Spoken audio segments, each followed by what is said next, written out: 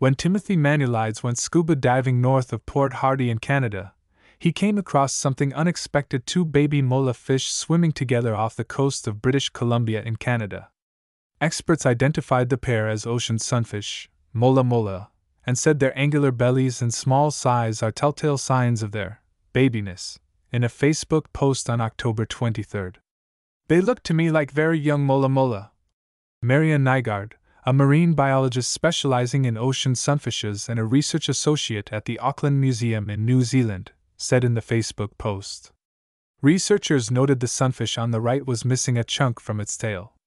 They estimated the juveniles measured around 24 inches, 60 centimeters, in diameter.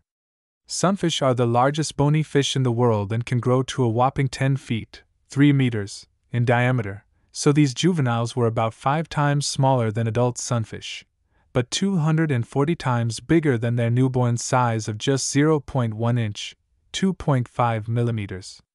Very little is known about sunfish's early lives, and their adorable, bug sized larvae can only be identified at species level via DNA sequencing. Sunfish are also known as mola, which is also their genus and species name, after the Latin word for a millstone, reflecting the round, flattened shape of their bodies. The video reveals that sunfish can swim faster than many people assume, the researchers noted in the Facebook post. They are often erroneously thought to be slow. Jackie Hildering, a researcher and the Education and Communications Director for the Marine Education and Research Society, MERS, who was on the dive but did not see the sunfish, wrote in the post. Hildering added that this perception results from a sunning behavior observed at the ocean surface, where sunfish bask in warm light after spending time in the cold depths. They can also be fairly stationary at the surface to present themselves for parasite removal by birds like albatross. Hildering noted.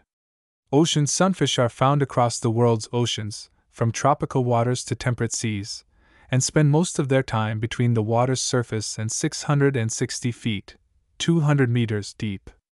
They were long thought to be the only species of mola in the Northeast Pacific, until researchers discovered another species, hoodwinker sunfish, Mola tecta, first described in 2017 after specimens washed up on a New Zealand beach and later spotted off the coast of Canada.